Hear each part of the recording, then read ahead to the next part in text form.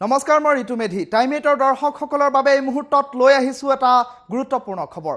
A I D এফৰ পৰা ticket বঞ্চিত প্ৰাৰ্থী নুৰুল আমিন চৌধুৰী এইবাৰ ৰাইজৰ ৰোষত পৰিছে। নিৰ্বাচনৰ প্ৰাক মুহূৰ্তত নিৰ্বাচনী প্ৰচাৰ চলাবলৈ যোৱাৰ সময়তে এইবাৰ জবাবদিহি হ'বলগীয়া হৈছে নিৰ্দলীয় প্ৰাৰ্থীগৰাকী। এই মুহূৰ্তৰ গুৰুত্বপূৰ্ণ খবৰটো জনাইছোঁ। টাইম এইটৰ দৰ্শকসকলক ৰাইজৰ ৰোষত পৰিছে এইবাৰ ৰূপহী হাটৰ নিৰ্দলীয় প্ৰাৰ্থী Nurul Amin Chowdhury. A I D এফৰ টিকট বঞ্চিত হৈছিল। নিৰ্দলীয়ভাৱে তাৰ পাছতেই প্ৰতিদ্বন্দ্বিতা আগবঢ়োৱাৰ সিদ্ধান্ত গ্ৰহণ কৰিছিল নুৰুল আমিন চৌধুৰীয়ে ৰূপহীহাটৰ ঢিংবৰী চাপৰিত আবদ্ধ কৰি ৰাখিলে ৰাইজে বহু সময় ধৰি নুৰুল আমিন চৌধুৰীক। নুৰুল আমিন চৌধুৰীৰ সৈতে স্থানীয় ৰাইজৰ বাক বিতন্তা দেখিবলৈ পোৱা গ'ল। নিৰ্বাচনৰ প্ৰাক মুহূৰ্তত এগৰাকী প্ৰাৰ্থীক ঢিংবৰী চাপৰিত আবদ্ধ কৰি ৰখা হ'ল। প্ৰাৰ্থীজনক আবদ্ধ কৰি ৰখাৰ দৃশ্যাংশ বন্দী হ'ল। কেমেৰাত সেই দৃশ্যাংশ টাইম এইটৰ দৰ্শকসকলক দেখুৱাইছোঁ। ৰাইজৰ ৰোষত ৰূপহীহাটৰ নিৰ্দলীয় প্ৰাৰ্থী।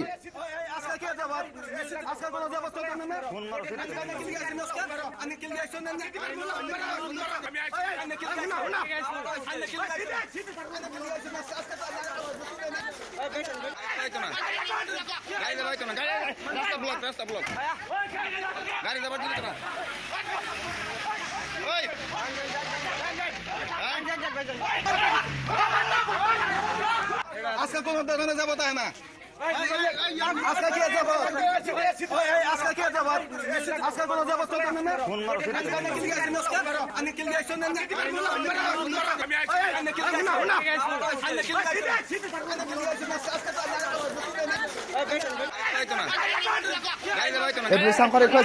দৰ্শকসকলক এয়া হৈছে ৰূপহী হাতৰ নিৰ্দলীয় প্ৰাৰ্থী নুৰুল আমিন চৌধুৰীৰ বুচাংশ ৰূপহীহাটৰ ঢিংবৰী চাপৰিত উপস্থিত হৈছিল প্ৰাৰ্থীগৰাকী আৰু তাৰ পাছতে স্থানীয় লোকৰ সৈতে বাক বিতন্তাত লিপ্ত হ'ল নুৰুল আমিন চৌধুৰী। আৰু নুৰুল আমিন চৌধুৰী উপস্থিত হোৱাৰ পাছতে এনেধৰণৰ অপ্ৰীতিকৰ পৰিস্থিতি দেখিবলৈ পোৱা গ'ল।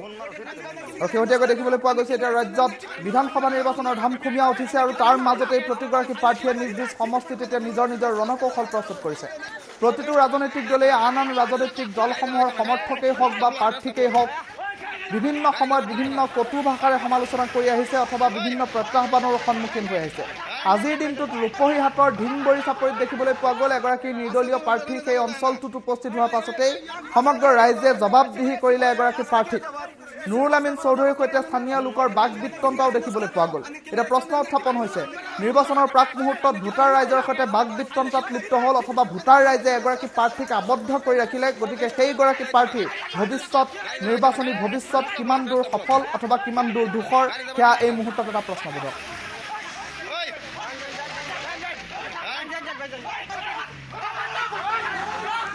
আজকাল কোনো দোকানে যাব তাই না?